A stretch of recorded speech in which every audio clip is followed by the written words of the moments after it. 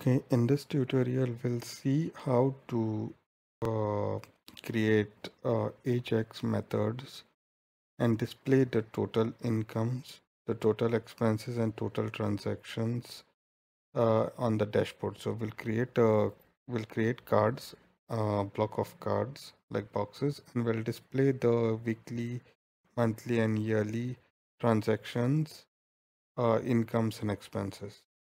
So before starting, I have done some changes to the application that uh, UI changes. So if you go to transaction listing here, you can see the menu is highlighting.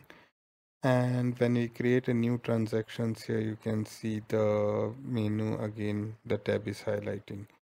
Okay. So this is the edit functionality and I will add this functionality to GitHub.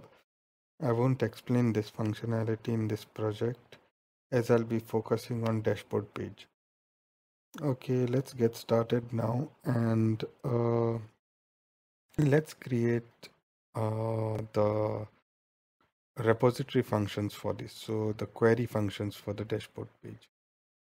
So we go ahead and we open our editor and we can see there is a dashboard transaction repository here.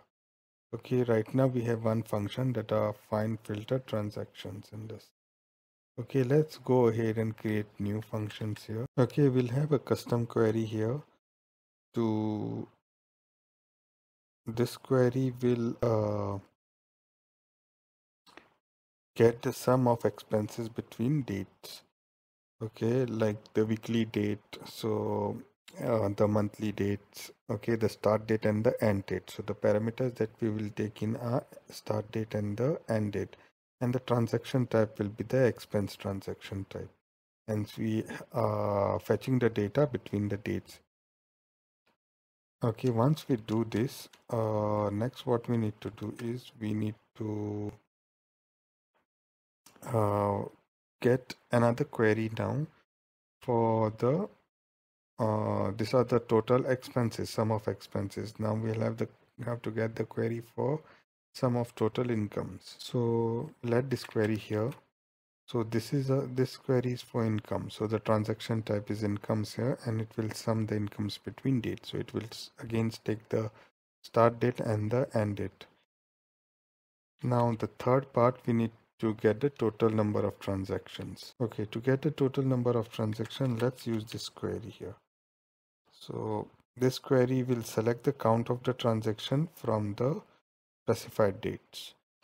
So once we have created this queries, okay, let's create uh, transaction service functions for this.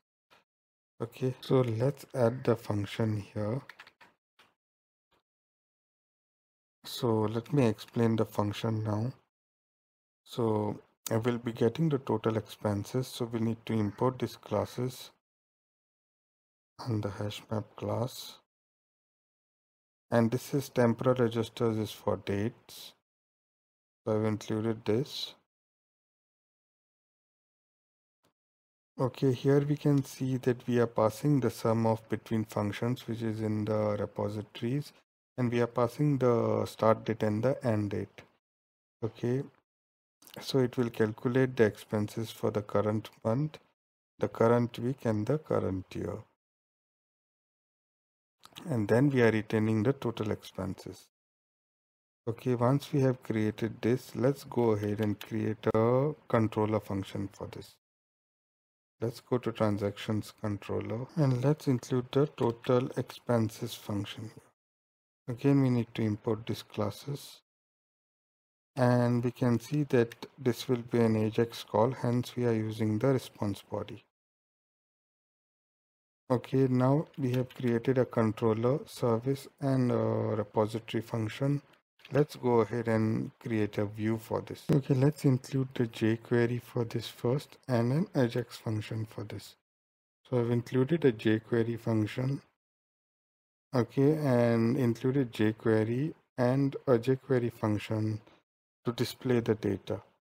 So we are going to create these blocks here, but first let's see if we if the Ajax call is working. So let's save this and let's rerun the application and we'll see if we get any errors or any issues in the application. Okay, the server has been started. Now let's re go to inspect element and let's reload this to see if this is working and we can see that 404 we are getting error of 404 page. So uh, so it is not getting the dashboard total expenses url okay so what we need to do is we need to remove the url since it cannot find this url and it is pointing to the root url let's save this and remove the dashboard from here and rerun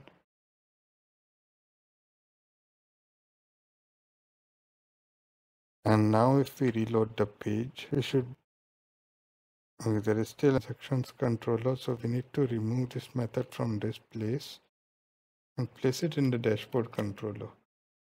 So if we place this now in the dashboard controller this should work fine. If we save this uh, we are using transaction service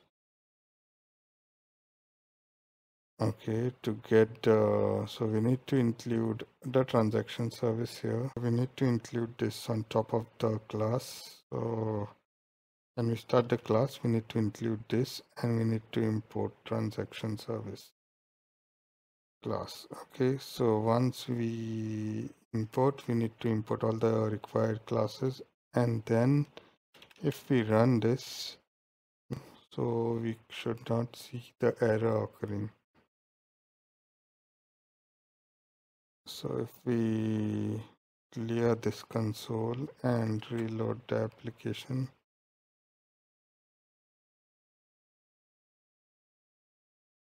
so the application is reloaded and we can see exp total expenses is 200 and it is giving us the total expenses of monthly, weekly and yearly. Uh,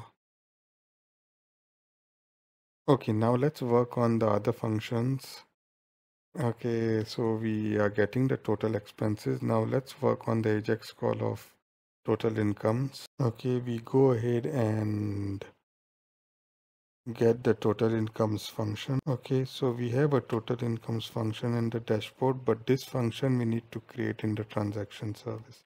So let's go ahead and create a get total incomes function in transaction service. So we go to transaction service class and our function will be similar to this to fetch the total expenses. So we in this function we have we have get total incomes which will go to transaction repository and sum income between dates. Okay we need to import this class. Here okay this will uh, give us the total incomes for month week and year I'll save this code. Okay, and we already have the sum incomes between dates in transaction repository. Okay, so now let's go ahead and create another the Ajax function. If we go here just below this, we create another function here. So this is for total incomes. It is a similar function where we should remove this and we should have total incomes here and we would populate this data. But let's see if this works. So it should give us now the total incomes and the total expenses. So let's rerun this application. Okay and let's create the console network and let's reload the page. And we can see that total incomes and the total expenses are working fine. So next let's see how to uh, get the total count of the transactions. So we'll go ahead and create a similar function in the controller. So we'll go to the dashboard controller. So we'll go ahead and add this function here.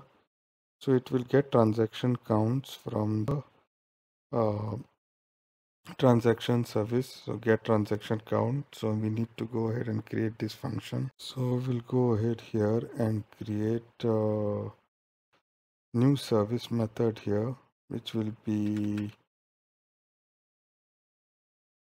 get transaction uh, get total transactions so let's go ahead save this and check the dashboard.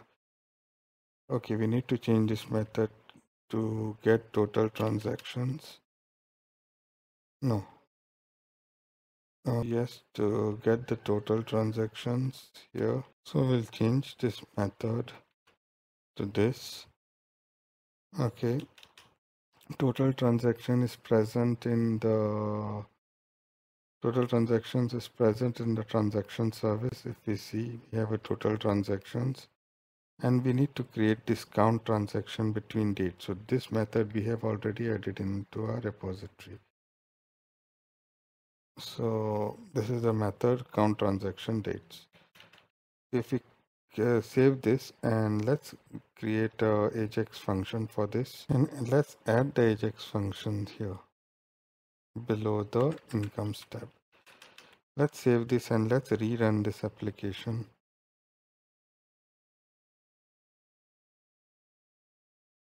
Okay, we need to remove this dashboard. Okay, once we remove the dashboard, let's rerun this application and now let's check the server.